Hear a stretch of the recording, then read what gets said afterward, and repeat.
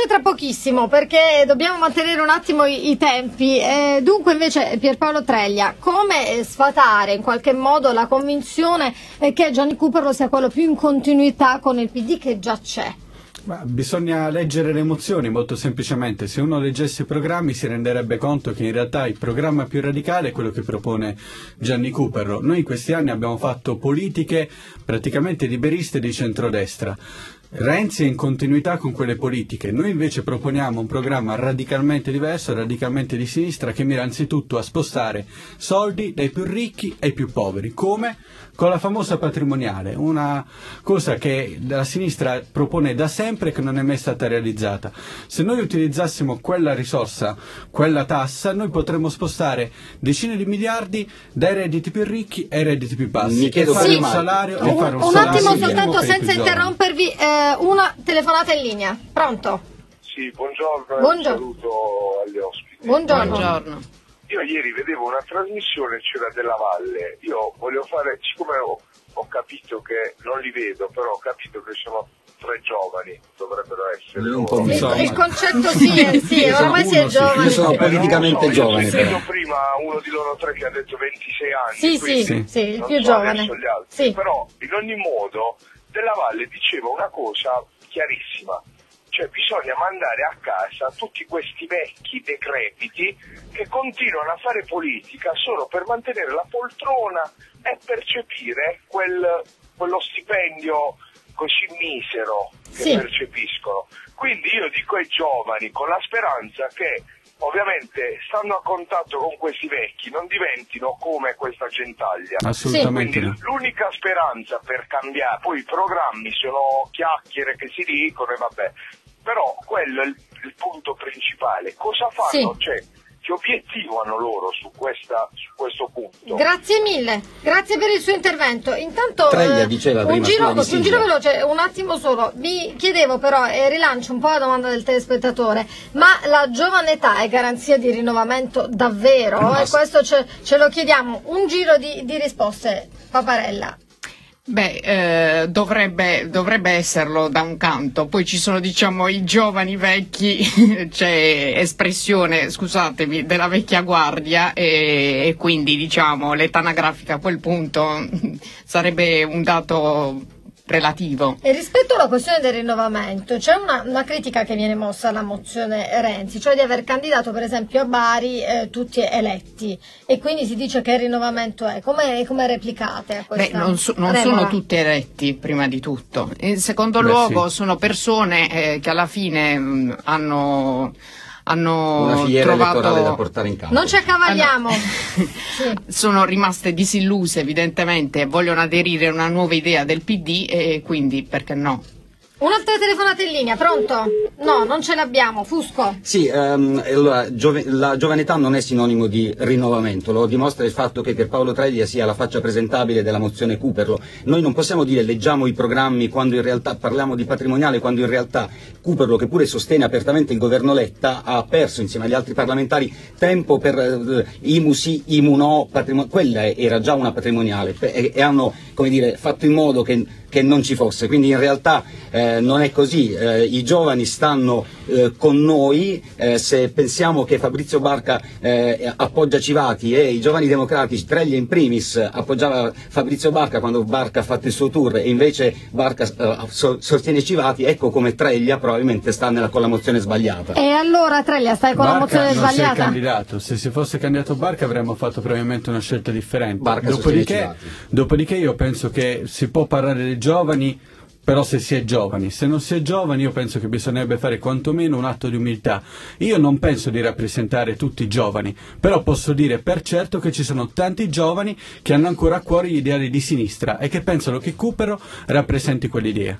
Un'altra telefonata in linea, pronto? Eh, sì, buongiorno. Buongiorno. Una domanda velocissima, Sì. probabilmente al rappresentante di Renzi, diciamo così, Sì. ma anche aperta agli altri ospiti. Sì.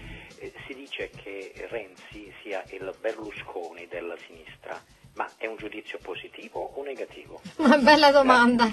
Questo dovre- dovranno, immagino, stabilirlo gli elettori. È un giudizio positivo o negativo? Sicuramente è una provocazione, voglio dire. Infatti anche Massimo D'Alema, diciamo, cavalca questo, Sì. questo life motive che si tratta del Berlusconi di, di sinistra solo perché è, è sicuramente ha delle capacità di comunicazione eh, notevoli, però questo penso che sia assolutamente un dato a suo favore. Dunque, eh, visto che però, lo ricordiamo, si elegge non il prossimo Premier, ma il, pro- il futuro segretario del Partito Democratico, subito dopo la telefonata vorrei che i miei ospiti concludessero questo spazio dicendo qual è l'idea del candidato per il partito. Eh, prendiamo un'altra telefonata, pronto? Eh, pronto, buongiorno, ciao, sono Buon- Francesco da Poggio Buongiorno. Saluto i tuoi ospiti, saluto te. Volevo ricollegarmi a quello che ha detto il radioascoltatore precedente, perché penso che nessuno dei due abbia dato una risposta precisa. Allora, io sono un vecchio eh, eh, elettore del PD, d'accordo? E sono uno di quelli che si è affidato a Beppe Grillo, perché? Perché parlava di mandare tutti questi vecchi decrepiti a casa, d'accordo?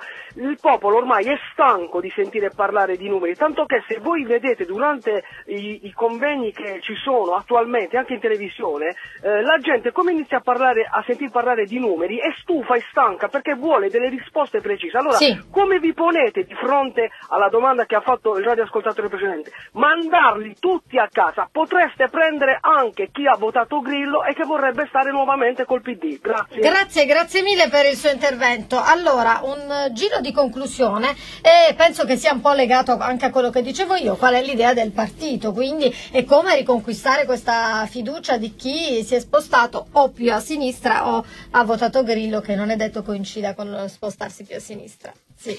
Allora, eh, appunto Renzi, come dicevo, ehm, pensa ad un PD che includa le persone e non le respinga, perché fino ad oggi ci siamo solo ripiegati su noi stessi. Un partito quindi che non si faccia solo ed esclusivamente all'interno dei circoli, ma eh, che si allarghi, diciamo, anche all'esterno. C'è stata però una mh, ecco, critica mossa poi a Renzi, è vero che eh, lui ha detto non si sale sul carro del vincitore, il carro si spinge tutti insieme. A spingere questo carro si sono però aggre- aggregati dei cosiddetti renziani dell'ultima ora che proprio non fanno piacere a quelli della prima ora? Domanda, non volevo mettere in difficoltà, una domanda insomma che, che viene posta però spesso, no? Ho detto, ci sono appunto persone a cui il programma e le idee appunto di Renzi sono piaciute e quindi hanno pensato di aderire a questo tipo di, di progetto. Poi se lo si vede già come il vincitore Renzi, io sono pienamente... dovrebbe farvi piacere. Eh certo. Un'altra telefonata in linea, l'ultima, pronto? Eh, buongiorno, sono Buongiorno. Anna. Sì, buongiorno. Senta, io devo dire una cosa. Sì. Eh, a riguardo del signore che ha detto di mandare tutti a casa. Sì. devono andare tutti a casa. Però se vanno a casa e vengono eletti i giovani, dietro ci saranno comunque loro. Perché non si combatte di avere solo due partiti in Italia? Ecco, perfetto. Sì. Sì, signora, Perché sì. siamo Sì, è caduta la linea, però insomma mi pare che di capire che la signora sia un po' per la semplificazione di questo sistema. Allora, chi- concludiamo con questo giro. Eh, dicevamo, l'ultima domanda, come riconquistare? Eh, come E riconquistare qual è l'idea del partito? La- sì, l'idea del partito, un partito che sia aperto al- alla, alla base, eh, un partito che faccia funzionare i circoli, un partito che abbia una proposta politica che sia attrattiva per gli elettori, che non abbia paura di andare a fare le elezioni con qualunque sistema elettorale, perché non è il sistema elettorale che fa la, la- la differenza, un partito che abbia il coraggio di chiedere ai propri iscritti e simpatizzanti come la pensa sulle grandi questioni. Noi abbiamo nello statuto del Partito Democratico la possibilità di fare il referendum, referendum che però il gruppo di potere che assiste in questo momento, parte C- eh, eh, Cooperlo e parte Renzi, non ha mai voluto disciplinare. Per esempio, eh, in Germania, per fare le grandi in- intese, la SPD, che pure ha perso le e- elezioni, prima di sottoscrivere l'accordo di governo con la Merkel, chiede ai propri elettori come la pensiamo su alcuni alcuni punti che faranno l'agenda del governo prossimo delle larghe intese. Eh, Civati è questo, fa proprio il, il, il concetto, della, ehm, il concetto di eh, Barca sulla ehm, mobilità cognitiva, no? cioè, Sì. andare a chie- cioè, u- utilizzare, andare a chiedere, a, a- a riprenderci gli elettori con una proposta politica che sia vincente e convincente, non già con le chiacchiere delle larghe intese che decidono nelle segrete stanze, ma aprire il partito alla decisione e dal confronto con tutti gli iscritti, con tutti i circoli, con tutti i simpatizzanti, in modo tale che sia continuo e costante lo scambio tra la base e il vertice del partito, che le decisioni Sì. non vengano assunte nelle stanze chiuse, diciamo con una modalità con i baffi che il Partito Democratico ben conosce da Sì. anni. La modalità con i baffi, che, che fine fa Pierpaolo Non so, Treglia io ho la secondo barba non c'ho i baffi, chiediamolo a chi c'ha i baffi. Io penso, io penso, non ho nessuno dietro se non tanti ragazzi che, ribadisco, sostengono la candidatura di Recupero. Penso che il Partito Democratico debba ripartire sicuramente dai suoi iscritti e dai suoi elettori. Abbiamo perso tanti eh, elettori tra i giovani, tra i disoccupati, tra i lavoratori precari, tra i pensionati. Il problema non è semplicemente cacciare i vecchi e mettere i giovani. Ci sono tanti giovani di valore e noi ci candidiamo a ogni elezione presentando giovani non calati dall'alto, che non sono dei figurine, ma che esprimono un consenso reale del territorio. Però ci vuole soprattutto gente rappresentativa. Se non c'è gente che rappresenta strati sociali, categorie, lavoratori, territori, è chiaro che la politica perde di senso, perché la politica o è rappresentanza o torna a essere rappresentanza oppure diventa semplicemente autoreferenziale. Allora a quel punto sì che le cose si decidono nelle segrete stanze. Noi siamo per una Sì. politica aperta e partecipata. Treglia, soltanto veramente 10 secondi. Nella tua presentazione a capolista a sostegno di Gianni Cooperlo, tu hai detto bisogna, perché qui si parla di conquistare nuovi elettori, ma anche coccolare i già iscritti, non farli sentire, tu hai, hai detto precise parole, stuprati poi dall'invasione nelle primarie di gente che magari al partito non, non tiene come tengono tanti iscritti. Sì, Una battuta su questo. Mi riferivo più che altro ai congressi di circolo Sì. e provinciali che si sono già svolti prima di queste primarie, dove noi abbiamo visto congressi in cui con l'apertura del tesseramento fino all'ultimo secondo utile si sono iscritte centinaia di persone che poi al partito in realtà non si erano mai avvicinate e che dal giorno dopo si sono completamente disinteressati delle sorti del partito. E invece quegli iscritti e quei militanti che ogni giorno tengono vive le sezioni e tengono aperte le sedi hanno visto i propri circoli invasi da gente che col partito non ha nulla a che fare. Sì. Questo è un problema.